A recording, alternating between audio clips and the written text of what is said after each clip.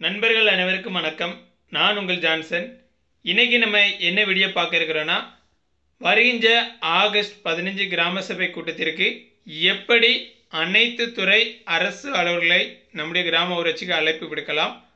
அனைத்து துறை அரசு அலுவலர்களையும் கட்டாயம் அழைப்பு கொடுக்க வேண்டுமா? இப்படி இரண்டு கேள்விக்கு இந்த காணொலியில் விரிவான விளக்கத்தை பார்க்க இருக்கிறோம். அதுக்கு முன்னாடி என்னுடைய சேனலை சப்ஸ்கிரைப் பண்ணாதவங்க சப்ஸ்கிரைப் பண்ணி பெல் பட்டனை ப்ரெஸ் பண்ணுங்கள் என்னுடைய காணொலிகள் தொடர்ந்து உங்களுக்கு கிடைக்கும். வாங்க வீடியோ கண்டனுக்குள்ளே போகலாம். கிராம ஊராட்சியில் இதுக்கு முன்னாடி நான்கு முறை கிராம சபை கூட்டங்கள் நடைபெற்று கொண்டிருந்தது. தற்போது புதிய அரசாணை பிறப்பித்து வருடத்திற்கு ஆறு முறை கிராம சபை கூட்டங்கள் நடைபெற்று வருகிறது. ஏன் இந்த கிராம சபை கூட்டத்தை முக்கியமான பொருளாக பேசப்படுது? ஏன் இதுக்கு எல்லா துறைகளையும் அரசு அலுவலர்களை அழைக்க வேண்டும்? எந்த ஒரு புதிய திட்டத்தையும் அரசு அறிவித்தால் இல்லை ஒரு புதிய அரசாணைகள் பிறப்பித்தால் கிராம ஊராட்சி ரிலேட்டட்னா கிராம மக்களை கூட்டி அது ஒப்புதல் பெற சொல்லுவாங்க. ஸோ நம்முடைய ஊராட்சிக்கு தேவையான திட்டங்களை நாம் தயார் செய்து கிராம சபையில் தீர்மானம் நிறைவேற்றி அந்த துறைக்கு அனுப்பும்போது மிக எளிதாக அதுக்கான நிதிகளை பெறலாம். இதுக்காக தான் எல்லா துறைகளையும் நம்ம அழைக்கணும்னு சொல்கிறோம் இல்லை எல்லா துறையும் அழைக்கணுமா? அதுக்கு என்ன பண்ணலாம்? இப்போ கிராம சபை கூட்டம் வந்து ஆகஸ்ட் பதினஞ்சாந்தேதி நடக்க இருக்குது. அதுக்கு நீங்கள் ஒரு ரெண்டு வாரத்துக்கு முன்னாடி தனி நபராகவோ இல்லைன்னா நீங்கள் குழுக்களாகவோ இல்லைன்னா இளைஞர்கள் ஒரு டீமாக இருக்கீங்கன்னா உங்களுடைய ஊராட்சியை ஒரு பாயிண்ட்லேருந்து இன்னொரு பாயிண்ட் எண்டு வரைக்கும் எல்லா தெருக்களையும் அப்படியே நீங்கள் மானிட்டர் பண்ணி ஒவ்வொரு தெருவுலையும் என்னென்ன தேவைகள் இருக்குது. அது சார்ட் ப்ரிப்பேர் பண்ணி டேட்டாவை கலெக்ட் பண்ணணும். தண்ணீர் தேவைகள் இருக்குதா? சாலை தேவைகள் இருக்குதா? தெருவிளக்கு தேவை இருக்குதா? இல்லை மின்கம்பங்கள் மாற்றப்பட வேண்டியிருக்குதா?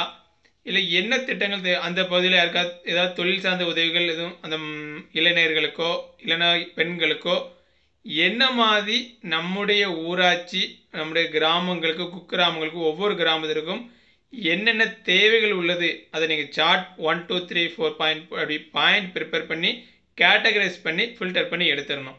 நீங்கள் மொத்தமாக எல்லா துறைக்கும் எல்லா அரசு அலுவலர்களையும் அழைத்து அதில் அவங்களுடைய நேரத்தை வீணடிப்பதை விட ஒருவேளை அந்த அரசில் வந்து இன்னொரு கிராமத்திற்கு போனால் பயனுள்ளதாக இருந்திருக்கும். நம்முடைய கிராமத்திற்கு அந்த தேவைகள் ஏற்கனவே பூர்த்தி அடைந்திருக்கும். அவங்கள அழைப்பது தேவை அல்லாதது. ஸோ நம்முடைய கிராமத்திற்கு என்னென்ன தேவைகள் நீங்கள் ரெடி பண்ணியிருப்பீங்க ரெடி பண்ணதுக்கப்புறம் எது ரொம்ப அவசியமாக தேவையோ அந்த சம்பந்தப்பட்ட துறை அலுவலர்கள் கலந்து கொள்ள ஒரு நபராய் அல்லாது நீங்கள் டீமாக நிறைய நபர்கள் வாய்ப்பு இருந்தால் நேரில் போய் முதல்ல சந்தித்து அவங்கள அழைப்பு கொடுங்க. வாய்ப்பு இல்லாத பட்சத்தில் அவங்களுக்கு அழைப்பு கடிதத்தை கடிதங்கள் மூலமாக அனுப்புங்க. மற்றும் உங்களுடைய ஊராட்சி செயலாளர் தலைவர் அவங்கக்கிட்டையும் சொல்லி இந்த சம்மந்தப்பட்ட துறையை நீங்களும் கண்டிப்பாக அழைப்பு கொடுங்க. நம்முடைய கிராம ஊராட்சியில் அவங்க கலந்துக்கிட்டாங்கன்னா இந்தந்த திட்டங்கள் குறித்து விவாதிக்கலாம். விவாதித்தால் நம்முடைய கிராமத்துக்கு அந்த நிதிகள் கிடைக்கலாம்.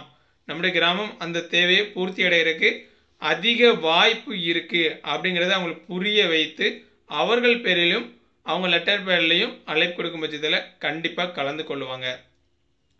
இது ஒரு விஷயம். ரெண்டாவது விஷயம் வந்து மண்டே பெட்டிஷன் உங்களுடைய மாவட்ட ஆட்சியர் அலுவலகத்தில் திங்கள் மனு நாளில் நீங்கள் எந்தெந்த துறைகளாம் கட்டாயம் கலந்து கொள்ள விரும்புகிறீங்களோ அந்த துறைகளுக்கு என்ன அந்த துறை அளவில் கலந்து கொள்ள தொடர்பாக சப்ஜெக்டில் போட்டுட்டு கீழே வந்து என்ன விஷயமா உங்களுடைய ஊராட்சியில் விவாதிக்கணும் அப்படிங்கிறத அவங்களுக்கு தெரியப்படுத்திங்கன்னா அவங்க வா உங்களுடைய ஊராட்சிக்கு வருவதற்கு முன்பதாகவே அதுக்கான டேட்டாவை அவங்க கலெக்ட் பண்ணி நீங்கள் இப்போ கேள்வி கேட்கும்போது கரெக்டான ஆன்சர் உங்களுக்கு கொடுக்குறதுக்கு ரொம்ப ஏதுவாக இருக்கும்.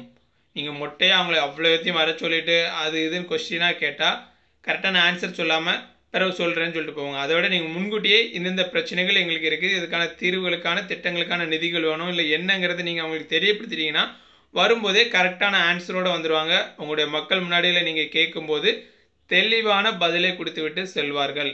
ஸோ நீங்கள் அனுப்பக்கூடிய மனுக்களில் இல்லை கோரிக்கை அழைப்பு கடிதத்தில் என்ன விஷயமா நீங்கள் விவாதிக்க இருக்கிறீங்க அதை கண்டிப்பாக குறிப்பிடுங்க.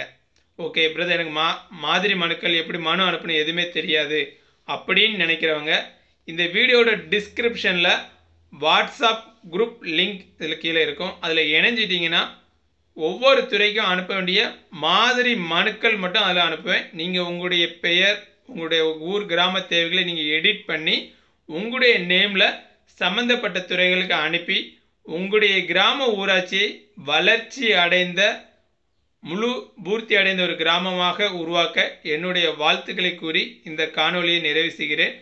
அடுத்த ஒரு நல்ல ஒரு பதிவில் சந்திப்போம். நன்றி வணக்கம்.